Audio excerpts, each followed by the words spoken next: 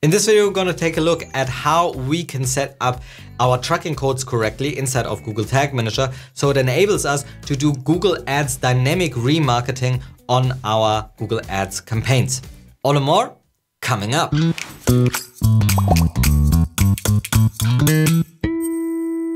Alright, today we start out in our demo shop here. This is this time based on a Shopify store where we want to install dynamic remarketing tags so we'll be able to do dynamic remarketing inside of Google Ads. Now it's important to understand that there are different moving pieces to a setup like this and the most important part is that there are two things that need to be in place in order for this to work correctly. The first thing being a product feed. This is essentially a spreadsheet where you have all your product information in there, which can then be pulled into an ad. And this is managed by the Google Merchant Center. So you need to have an account there and connect your feed to this. I won't be going through these steps today as they're very different from how you would set that up. You could, for example, use a plugin depending on your shop system that would also differ. But in the end, you need to get to that spreadsheet kind of format where you have all your product information in there. That is actually the information that will later be used in your ads. And once you have that part in place, you would tag up your website. This is the important part where you would place a little bit of information on your website itself so that we can identify what product the user looked at at that given moment, send that over to Google Ads, and then Google Ads can pull the information from the product feed and put it all together into dynamic ads. How do these codes look like? Well, in the documentation of Google, we can see here that it wants informational pieces like the value of the products actually looked at at that given time and the items that have been viewed. It's important to understand that the ID that you send over via the tracking code needs to be the same or match up to the product feed that you have uploaded to Google as well or to the Merchant Center.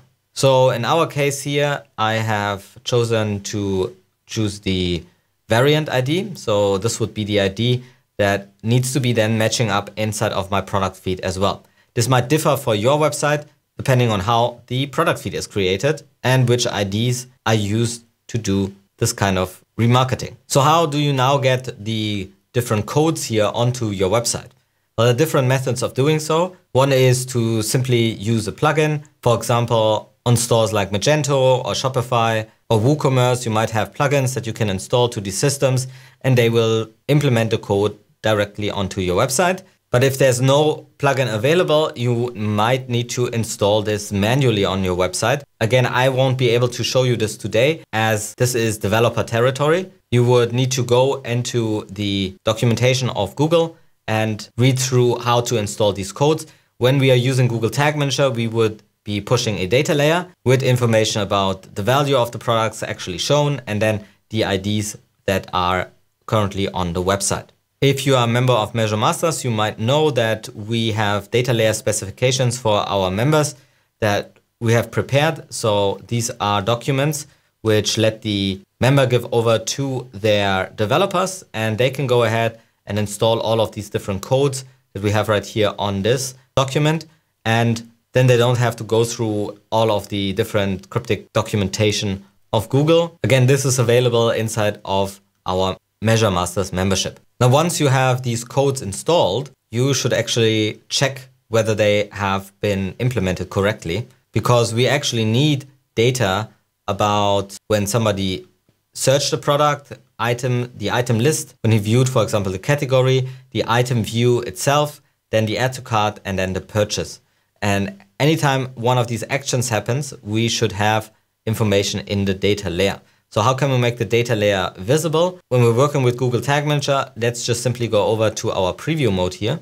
And first I need to publish an empty version. Then I should be able to connect. Let me get my page here. And so now we should be connected. And here we can see the data layer now in place. And we have a data layer push called view item. So the developer has implemented it correctly. It gives us the information about the value that is currently looked at, the ID, and that was the ID up here. And then the Google business vertical, which would be retail. This doesn't change because we are on a, a shop system here, but Google has different other verticals if you want to check them out. There are different verticals that you might want to look into. Um, I can't find them right now. I think it's over here. So you have different business types from education, flights, hotels, rentals, jobs, and so on. So if you are one of these businesses, you might want to choose a different vertical there as well. So this seems to be implemented correctly, at least on this website. Let's go ahead and look actually on a catalog website with many different products here. And we get a view item list. And so here we have all the different items. The value is a summary or a sum of all of the products that we are seeing here. And let's go ahead and also search for something. And here we have the site search, view site search results, and uh, again the value and all of these different numbers that are seen. And then the last bit would be to add this actually to cart. So I just added something to cart. We have an add to cart here. And in the data layer, we also have that information correctly transferred. And then the last step is the actual purchase of that product. So let me go through the checkout here really quickly.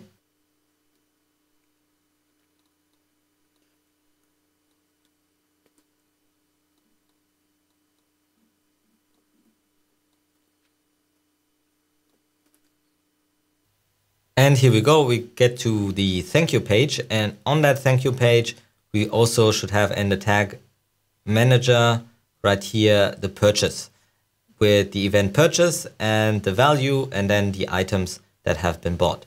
So this has been implemented correctly. And again, you need to have this data layer set up dynamically in order to make your implementation work. This is a prerequisite for the next steps to come. So how do we now take this information and send it on to Google Ads? So first of all, we'll go over to our tags here. This is a brand new account and let's update this.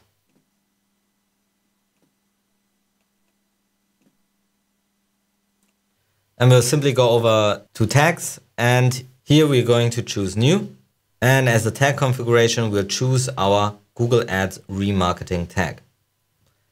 We'll give this all a name.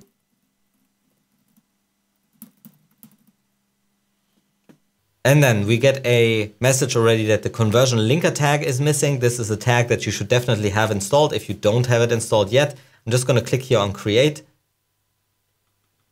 this is simply our Google Ads conversion linker. We don't have to have any kind of special configurations here unless we have specialty here like cross-domain tracking that we want to install. For now, I'm just going to go here on save. This will then be added to our tags as well. And the conversion linker is now available. Now we need our conversion ID and our conversion label. That's usually something we find inside of our Google Ads account. So let's go over here and under the wrench icon, we should be able to go over to shared libraries and then audience manager. This is where we later will find our remarketing audience. And here we can go over to audience sources. And this is where we'll find our Google Ads tag. If you don't have that set up yet, it will prompt you to set one up. We have one here already. And at the bottom, we'll find the tag setup. And here we can go for tag manager. And this is where we have our conversion ID. So this is what we would need. Let's go over back to Google Tag Manager, put our conversion ID in here. We don't have to have a conversion label. And now the next part would be to send remarketing event data. This is exactly what we want to do. So I'm going to click on this.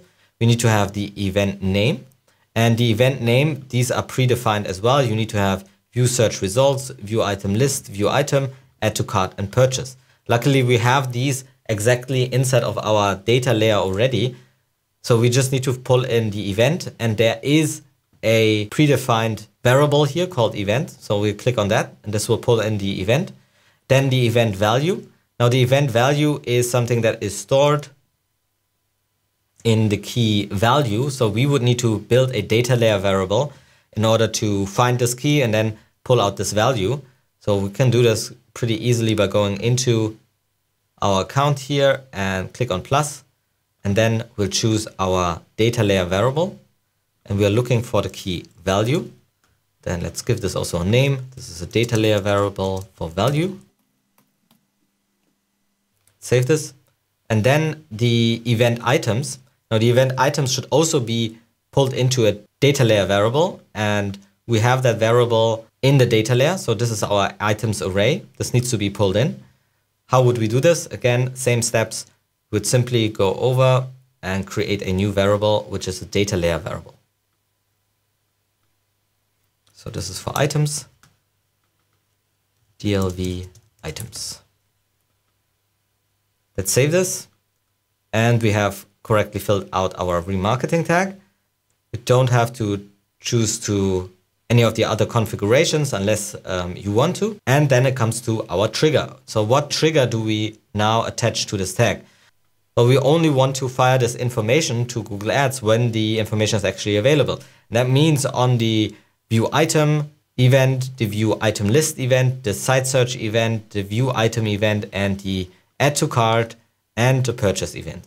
So all of these need to be triggering our remarketing tag. You can find them here again. And we can use a little trick so we don't have to create new triggers all the time. So let's go ahead and create a new trigger here. This will be our remarketing events. This will be a custom trigger. We'll choose custom event and normally you would put in here, um, for example, purchase, and then it would fire on this purchase event that we have inside of the data layer. But since we have multiple events that we want to fire this on, we can go ahead and again, look at the list here. We could copy the list. Um, I have this already in this handy tool. And then we can choose to actually use regex matching here, which is a powerful um, option to just use the pipe to delimit a OR function. So purchase or, for example, add to cart. So all of these need to have a pipe and I have them already here. So let me just put a pipe in between the, those.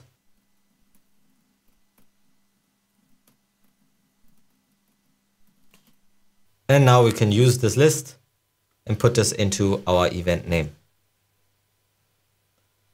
Let's save this. And this should be kind of it. We'll save the whole tag. And I'm going to go again into the preview mode. Our debugger is connected and now we have a view item here already and our G ads remarketing tag fires with hopefully this information. We can click on the tag and we can see here the event items have been pulled in, the event value has been pulled in and the event name. Now to control this, we can use the tag assistant legacy right now still.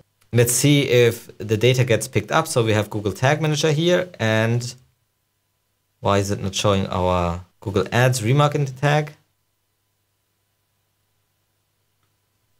Nope, it doesn't want to do it. Ah, we are not on a product page, so let me go over to a product page.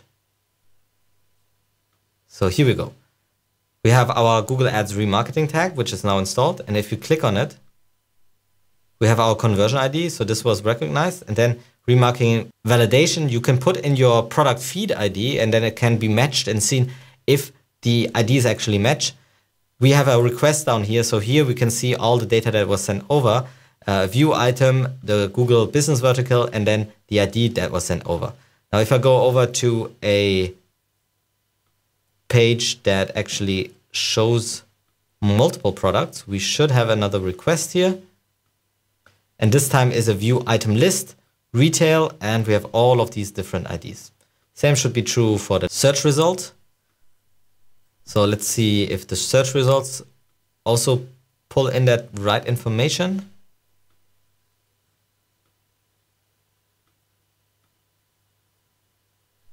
So here it seems to, let's reload this one.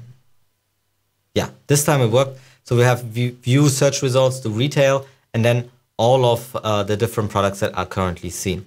And also this should happen obviously when we click on add to cart and we have a view item, but we should also have a add to cart here as well. So this one worked. And then we would go all the way through the checkout and to the purchase page. I trust that you have installed this now correctly and we don't have to do this.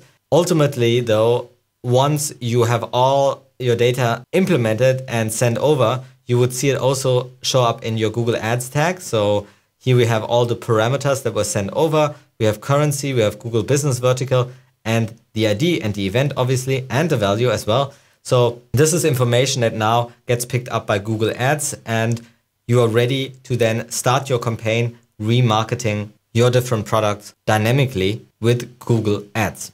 Don't forget, if you want to take this live to all of your users, so they actually send that information over, you would need to submit this as a version so it goes live on your website.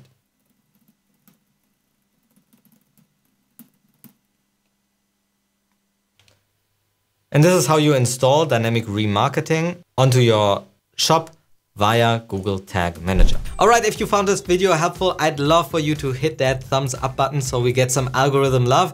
And you should also definitely check out this video over there where I'm going to show you how to set up Google Ads conversion tracking, which would be the next logical step because you want to control when somebody converts and you want to have that signal in your Google Ads account as well. So definitely check that out as well.